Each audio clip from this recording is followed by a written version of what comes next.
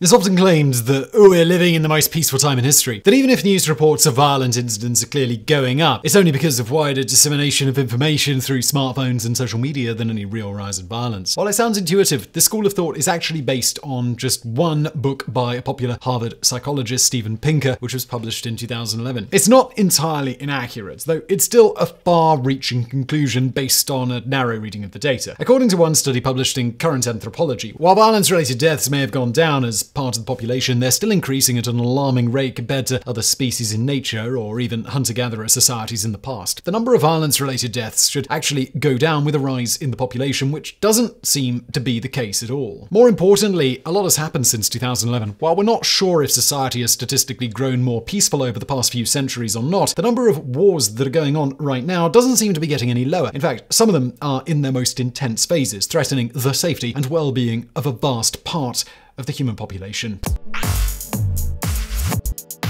Number 10. Tigray Revolt. The Ethiopian government is currently fighting a bloody civil war in its northmost state of Tigray. As of April 2022, the conflict that began in November 2020 has killed over half a million people and displaced close to 2 million, making it one of the largest conflicts in Africa's history. Apart from the usual horrors of war, the region is also facing an acute famine. Human rights groups say that over 20% of the population may be in urgent need of humanitarian assistance. The fighting is far from over, however, and it only seems to be escalating at this point. It's a multifaceted conflict with a lot of different actors participating in various ways especially neighboring Eritrea. Ethiopia claims that it's a separatist war aimed at the formation of a Tigray state, though the rebels see it as a struggle for self-determination. Ethiopia considers the Tigray People's Liberation Front, TPLF, a terrorist organization and regularly carries out operations to pacify the rebellion, though that has done little to stop the violence. Human rights groups have reported gross war crimes from both sides, though most of them remain independently unverified and unknown due to the fog of war. Number 9. Second World War. Yes, you read that right, and no, World War II is not little known. But the fact that it's still ongoing, well, that's a little less common knowledge. The Kuril Islands are a Russia controlled group of islands off the northern coast of Japan, though they're also claimed by Japan, known in the country as the Northern Territories. Occupied during the Second World War, the islands were originally inhabited by the Ainu people, though they were eventually displaced by Japanese settlers over the centuries. Red Army forces occupied it in the last stages of the war in 1945 and expelled all of its Japanese inhabitants in 1946. Thanks to this dispute, Japan and Russia have still not signed an official peace treaty, which means that the Second World War is still ongoing. Many would see it as just a technicality, though Japan still considers the islands part of its territories. Moreover, tension between the two countries have been on the rise since the beginning of the invasion of Ukraine, and Russia has explicitly used it to deny any possibility of peace talks over the islands. Number 8. Colombian Civil War. The current Colombian Civil War has been going on since 1964, and while a peace deal was signed in 2016, the violence still continues in many parts of the country. It's difficult to point out exactly exactly who is fighting whom here, as the war has so far involved a variety of different actors. That includes far right paramilitary groups, private death squads hired by corporations, drug cartels, communist organizations like FARC and ELN, and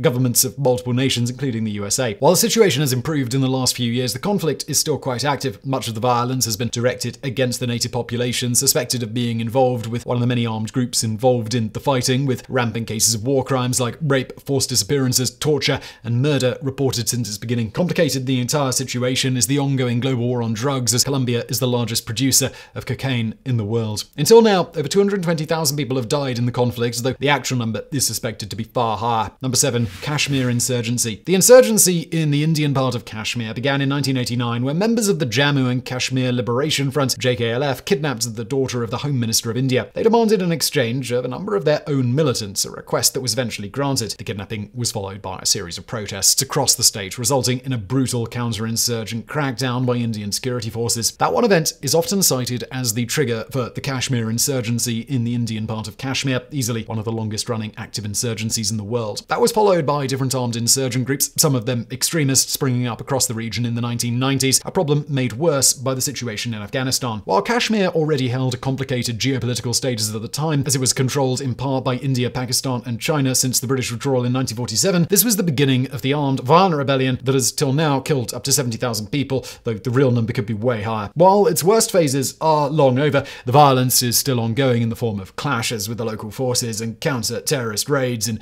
villages across Kashmir. Number six, Somali civil war. The ongoing civil war in Somalia dates back to the fall of President Siad Barre's government in 1991, when a bloody rebellion waged by various armed groups ejected him from power. Since then, the entire country has been devastated by what is easily one of the longest ongoing wars in the world. Over 2.6 million Somalis have been displaced by the conflict that has killed anywhere between 450,000 and 1.5 million people so far due to factors like famine, open conflict, terrorist raids, disease, and piracy on its northern shores among many others. The rebelling groups include extremist organizations like Al Shabaab, which has often resulted in a heavy handed response from the government forces, making the situation worse for civilians. Many different countries have been involved in the conflict, further complicating it, including the forces of Ethiopia, Kenya, the USA, and the African Union, along with mercenaries and undocumented fighters from around the world like Al Qaeda. Reports of war crimes and atrocities against civilians are rampant from all sides, and international efforts to stop the war have so far proven inadequate. Number 5. Afghanistan Islamic State War. The withdrawal of US and allied forces from Afghanistan has left parts of the country in a tenuous situation, as the Taliban seeks to stabilize the situation across the war torn country. As ridiculous as that might sound, it's threatened by increasingly intense civil war with extremist groups, primarily the Afghanistan branch of the Islamic State. Known to Afghanis as Daesh, attacks by the global terrorist organization have increased in both frequency and death count since the withdrawal, particularly around Jalalabad. While the Taliban and ISIS have always been at odds with each other, the Taliban is now in power in Afghanistan with control over its assets and military. The conflict is in its early phases and restricted to certain regions of the country around Jalalabad, though it could spiral out of control at any time. Attacks have come in the form of armed raids on government installations, along with massive terrorist attacks that have already killed hundreds of civilians across the country. Number four, Boko Haram insurgency. Boko Haram is an extremist Islamist group operating across Central and West Africa. While it's sometimes called the West African chapter of the Islamic State, the two groups are in fact different, even if ideologically they're allied with similar goals of establishing a global Islamic State. Along with terrorizing the civilian population, Boko Haram is also in open conflict, armed revolt against the Nigerian government since 2009, a conflict that has so far killed over 35,000 people. In recent years, violence has also spread to neighboring countries like Chad, Cameroon, and Niger, and may even have far reaching consequences beyond Africa by the time it's over. The humanitarian cost has been particularly high for Nigeria. Since 2009, the group has carried out kidnappings, murders, organized pogroms, bombings of government infrastructure, and many other atrocities aimed at destabilizing the government's control over Nigeria. Number 3. Libyan Civil War. The Libyan Civil War was one of the bloodiest conflicts during the wave of revolts across the Middle East and North Africa known as the Arab Spring. Beginning in 2011, it was also one of the first conflicts fought in the age of information, or more precisely, disinformation. At its peak, social media was flooded with what many now call fake news from both sides, making it difficult to get a clearer idea on the ground, right up until Gaddafi's grisly execution in October 2011. Now, independent researchers and human rights organizations have a much clearer view of the situation situation. Far from the stability and peace that the rebellion promised, at least in theory, Libya is now controlled by a variety of factions and warlords in open conflict with each other in the state, many of them radical extremists. Apart from the ravages of war, Libya also turns into a haven for slavers from across the region. It's perhaps the only country with an open slave market as reported by human rights groups and international observers. Number two, Mexican drug war. The Mexican drug war could be seen as part of the larger war on drugs in the region, though it has taken its own horrifying form in the past few years. Since 2006, armed factions of drug cartels have been waging a brutal war against the Mexican state. Far from being over, the conflict has spilled over to the neighboring regions and has so far resulted in over 300,000 homicides across Mexico. Mexican cartels control almost the entire drug trade in the region. Many of them are in open conflict with each other too. Civilians suspected of collaboration with rival gangs have been often subjected to inhumane methods of torture and execution. While Mexican forces have been successful at apprehending or eliminating leaders of major gangs, including the infamous arrest of El Chapo in 2014, that has done little to address the root cause of the conflict. Number one, Houthi rebellion.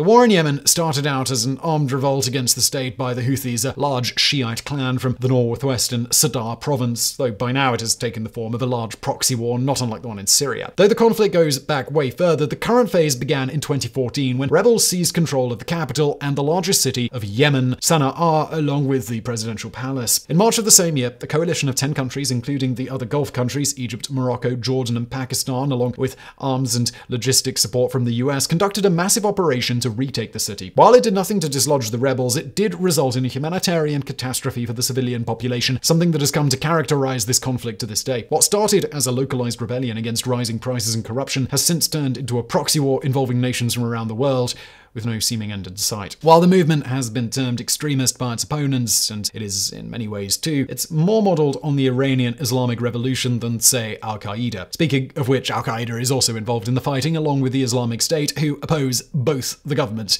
and the rebels.